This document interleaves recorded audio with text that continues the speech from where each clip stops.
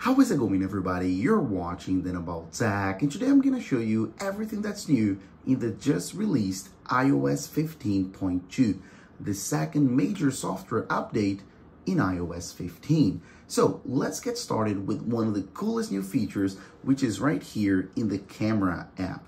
This feature is exclusive to the iPhone 13 Pro and 13 Pro Max because it has to do with the macro mode. So let me show you.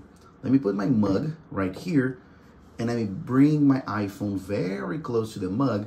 And as you guys can see, now we have this new icon, the macro icon, indicating that the iPhone has automatically switched to macro mode. And the coolest thing is you can enable it as it is automatically, or you can just disable by touching it and then it goes back to normal. So it's very nice to finally have control over this, to have control whether you want to take a photo on macro mode, and then you can zoom in so close and you won't lose any quality. Look at this, you get full quality, getting super, super close, or you can disable it and get a normal shot if that's what you want to. So finally, we have this manually controlled by the user. This feature has to be enabled though. You gotta go to settings and then scroll all the way down to camera and then scroll down a bit more. And then you see right here at the bottom, macro control. So turn this on and you have that toggle to enable or disable macro inside the camera app. The next new feature has to do with the fact that iOS 15.2 can now detect if an iPhone has a non-genuine part. This is amazing, guys. So if we go to settings and we actually scroll down to general and about, we will have a new section right here if any part of my iPhone was replaced. Since this iPhone is all original, we can't see it here, but it would look something like this. So as you guys can see under about, we would have, for example, battery or camera. And if you have replaced a part and you have replaced by a genuine part, it'll just say genuine Apple part. That's okay, that's normal. But if it's not a genuine part, it'll say something like this, unknown part. So this is so, so cool, especially in the pre-owned market. If you want to buy a secondhand iPhone or something like that, having the ability to just go to settings and then general and about and seeing if there has been a replacement and if there has, if it's a genuine or ungenuine part. This is super important and now it's super easy to check. Now let's talk about privacy. If we tap on settings and then we scroll down and go to privacy and then we scroll all the way down, the last option is called app privacy report. So if we tap there, and this is all new to iOS 15.2, we have now the app privacy report. So we can turn this on and this is a new feature that'll start gathering data and giving you all sorts of important data related to your privacy. Like, for example, uh, when and which apps have actually requested your location or requested data from you. As you can see, I have just enabled the feature, so I don't have a lot of data to show you, but I have some photos that I can explain you a little bit more what this feature can do. As you can see, for example, you can see exactly when and which apps are actually having access to your camera. This is super important.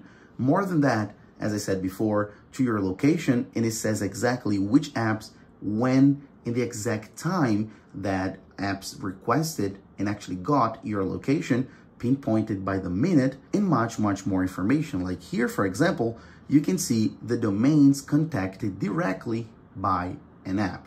And you can do this app by app. So you can see that this domain, for example, it was contacted 106 times, this 151, this 149. And as I said, you can see this by app. So this is absolutely insane. Uh, if you actually care about your privacy, worry about your privacy like you should, you definitely want to have this feature enabled. You definitely want to have app privacy report turned on and check this because here is where everything happens. Now let's talk about another privacy feature, this one having to do with iMessage, especially if you have kids. So if you do have kids and you have screen time turned on, right?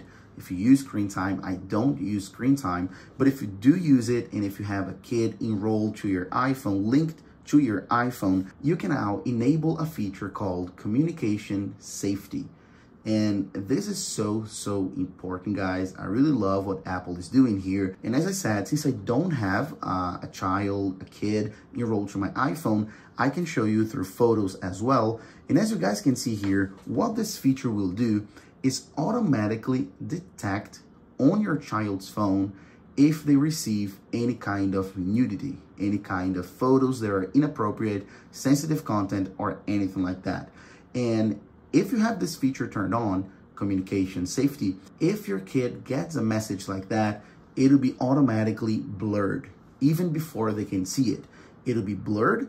And then uh, if they tap on the photo to see it, uh, iMessage will give this information, say that this photo could be sensitive. Are you sure you want to view it? And a ton of information on how they should actually deal with it, uh, talk to a parent, pay attention if they really want to do it. And more than that, uh, it's giving a ton of advice, like it's your choice, but make sure you feel safe.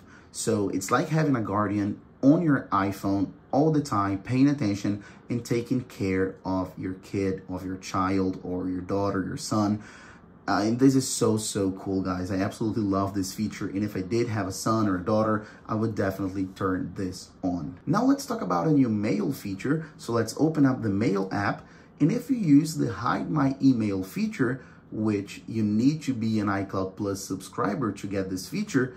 As you can see, straight from the composing page from your email, you can easily tap on the from, which is your email, of course, and you can easily hide my email. So you can hide your email straight from the mail app while composing a new message. So this is so, so cool to have this ability to toggle this on or off while composing it instead of going to settings and everything like that. And if you don't know what the hide my email feature is, as you can see here, you can create a random address that forwards to your inbox. So if you want to send an email to somebody, but you don't want that person to actually see your actual email, your actual address, it'll create a random one. And when they reply, you'll get the message, but the person won't know your real address. So this is so, so cool. You can tap on hide my email, send this email to anyone that you want.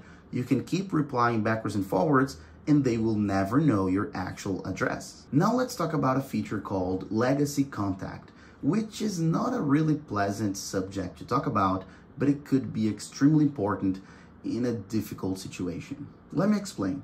If you actually go to settings and then you tap on Apple ID, your name here at the top, and then you go to password and security, let it load, and then right here at the bottom, we have legacy contact. And as you can see, a legacy contact is someone you trust to have access to the data in your account after your death.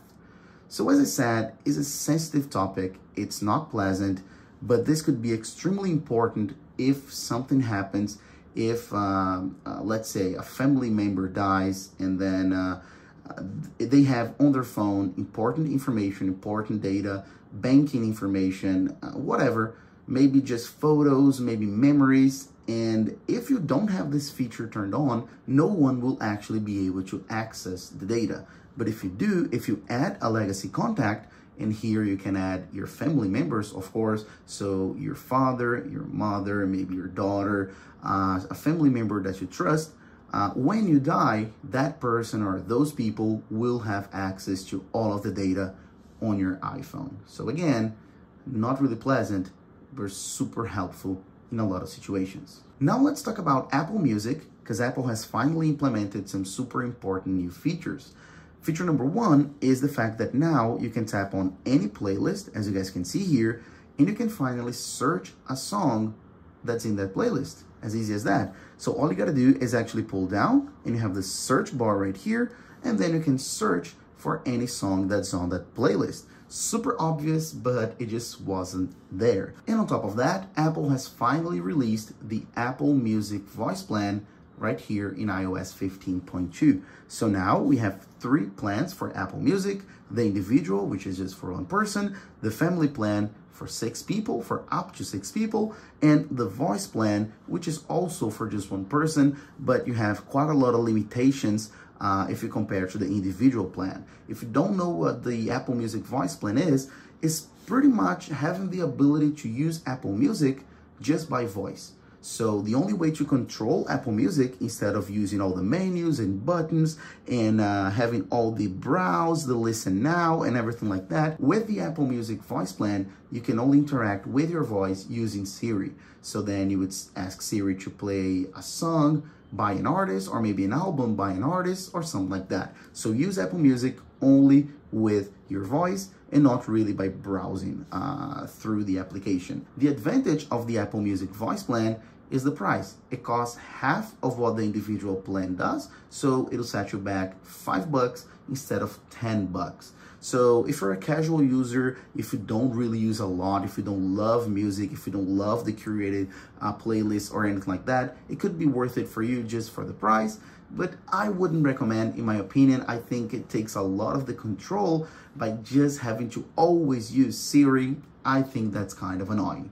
But again, it could be useful, especially because it's just five bucks. And now, last but not least, let's talk about performance and battery life. I personally couldn't tell any difference whatsoever in both. So uh, performance is exactly the same. I wasn't getting much bugs here on my 13 Pro Max at all. Uh, it's super fluid, super good. Uh, I don't see any problems and I wasn't having any problems in iOS 15.1. So same goes with 15.2. Battery life, same thing. I'm always getting a full day of battery life and I don't think we will see a huge difference here in 15.2. If you have bugs and battery problems though, maybe in the new update, after updating, you will get those fixed and patched but it's not 100% guarantee and also don't expect a huge change. As I said, in performance and battery life, it should remain pretty much the same unless, as I said, you have a bug.